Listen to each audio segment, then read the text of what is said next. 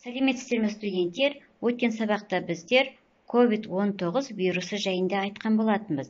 Енді бүгінгі сабағымызда осы коронавирусқа байланысты мазалықты сезінетін студенттерге арналған ұсынымдарға тоқталамыз. Өмір соңғы кезде біршама өзгерді. Барлық оқу орындары қашықтықтан оқыту жүйесіне көшті. Ата аналар үйден жұмыс істейді. Ал сіздер болсаңыздар достарыңызбен бұрынғыша кездесе алмайсыздар.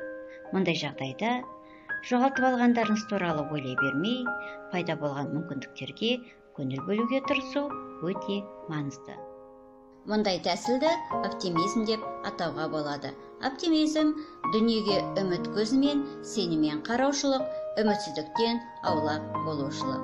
Студенттер енді қорқыныш жағдайлары бойынша әлемдегі жетекші сарапшылардың бірі роберт лехидің ұсыныстарына сүйене отырып төменде көңіл күйіңізді жоғалтпауға алаңдаушылыққа бой алдырмауға сонымен бірге бұл жағдайға байсалдылықпен қарауға көмектесетін бірнеше кеңестерге назар аударалық дәрігерлер нөлден 19 жасқа дейінгі балаларға ауру ықтималдылығы өте аз.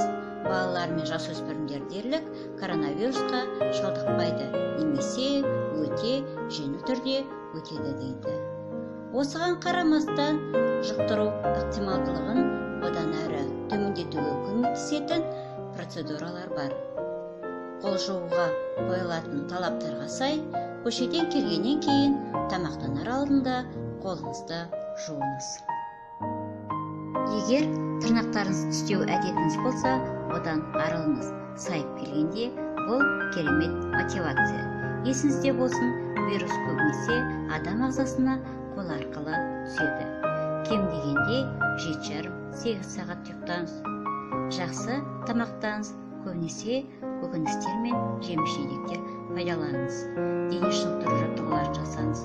Күні бойы сергек жүруге және артық салмақтан арылуға көмектеседі.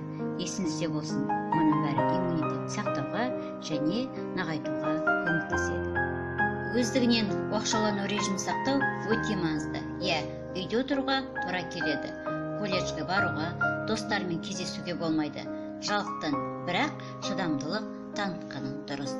Енді мәскеу мемлекеттік психологиялық педагогикалық университетінің кеңес беру және клиникалық психология факультетінің доценті зарицкийдің ұсынымдарына көңіл аударайық бізден көп адамға ауру жұқпау үшін үйде қалуымыз сұрайды. Мысалы қытайда адамдар бұған өте қатты байсалдылық танытқан кезде науқастардың барлығы дерлік сауығып кетті.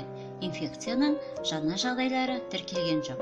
Енді бізде шыдамды болуымыз керек. Егер сіз барлық жаңалықтарды күннің көп бөлігінде бақылайтын сіздің бен үрейіңізді арттырады. Одан да тактикаңызды өзгертіп өзіңіз немесе ата анаңыз сенім арттыратын бір екі ресурстарды таңдаңыз. Ал жаңалықты таңертең 10 минут және кешке 10 минут қарағаныңыз дұрыс. Мазасыздықты емдеудің жақсы әдісі әзіл.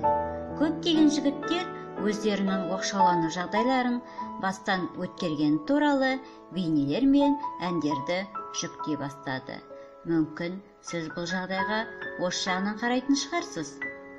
Егер мазасыз ойлар сізге үнемі шабуыл жасаса алаңдаушылық қауіпті емес екенін ұмытпаңыз. Әр мазасыз ой туралы ойланудың қажеті жоқ. Оларды аспанда жүзіп жүрген бұлттар сияқты елестетіп өзіңіздің жағымды немесе маңызды істеріңізге көңіл аударуға тырысыңыз. Егер сіз өзіңізді мазалаған сұрақтарға жауап таба алмай жүрсеңіз онда колледжіміздің педагог психологы құрмашева раушан амантаевнаға немесе өз кураторыңызға қоңырау шалыңыз. Олар сізге әрдайым көмек қолын созып көмектесуге даяр. Естеріңізде болсын. Қандай жағдай болсын біз біргеміз.